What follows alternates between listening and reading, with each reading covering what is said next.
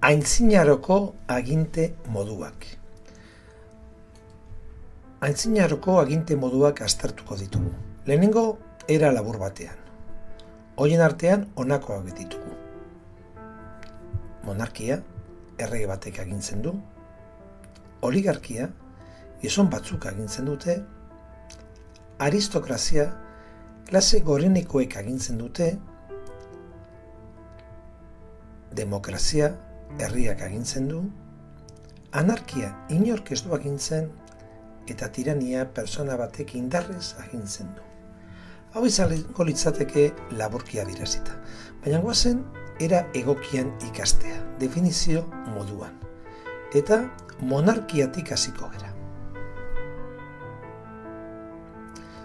Ondo definitzeko, kontzeptua markatuko dugu, monarkia. Ondoren, ezaugarriak erlatiboarekin. Oinordekotzaz boterea duen agintari bakarreko eta ondoren hiperonimoa jarriko dugu. Aginte modua da. Horrez gain, ezaugarririk esanguratsuenak ipiniko ditugu. Kargu honi monarkia deditzo, errege edo erregina, bera bakarrik zuen agintzeko legeak egiteko edo justizia horren egiteko boterea, herriak ez zuen partabitzarik erabakietan eta azkenik beti adibideren bat jarri.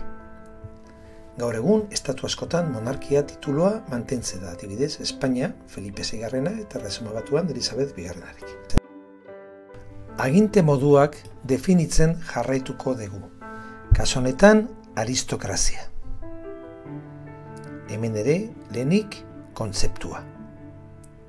Aristokrazia. Ondoren, erlatibozko esaldia, boterea gizartearen klase gorenen esku dagoen eta hiperonimoa. Aginte modua da. Saldia horrela geratuko litzateke. Aristokrazia, boterea gizartearen klase gorenen esku dagoen aginte modua da. Ondoren, berriro ezaguarririk ezaguratxuenak ipiniko genituzke. Aintzinatik termino A gizarteko mailari gorenarekin identifikatu da. Platon eta Aristotelesek, graziar filosofoak, hitza bere jatorriko zentzuan erabili zuten.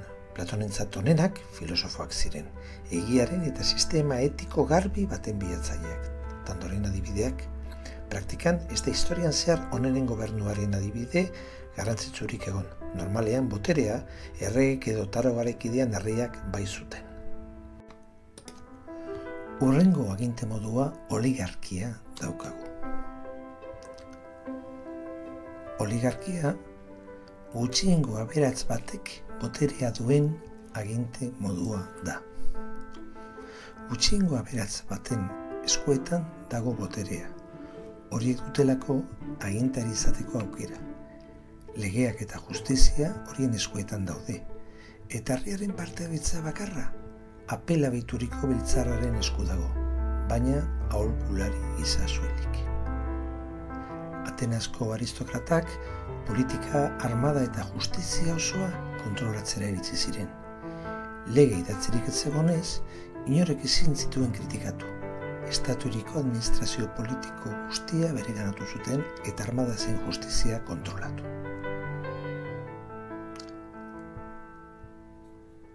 Orain, tiraniaren garaia heldu da. Tirania agintari baten mugari gabeko boterean oinarritzen den aginte modua da. Herritarren iritziak eta eskubideak ez dira respetatzen. Herritarren eskubideak zapaldu egiten dira. Ere batu buru eta boterea bere inordekoi pasatzen dira. Adibide gitza, Egiptoko erregeek, faraoiak, Ramses zeti hauek botere religioso eta politikoa bere eskuetan biltzen zuten. Orain demokraziaren garaia heldu da. Demokrazia agintea herritarren esku dagoen aginte modua da. Herritarrek aukeratzen dituzte ordezkariak botoen bidez eta erabakiak eman ditzakete legeen onarpenean ere. Garaia egiten bakarrik herritarrek zuten boto eskubidea eta gainerakoek ezin zuten parte hartu. gaur egun sistema politiko gehienek demokratitzat dute bere burua. Venezuela, Estatu Batuak, Espainia, Noruega, Japoi, Israel, Australia. Horrengo aginte modua, Errepublika. Errepublika, herriak boterian zuzenean parte hartzen duen aginte modua da.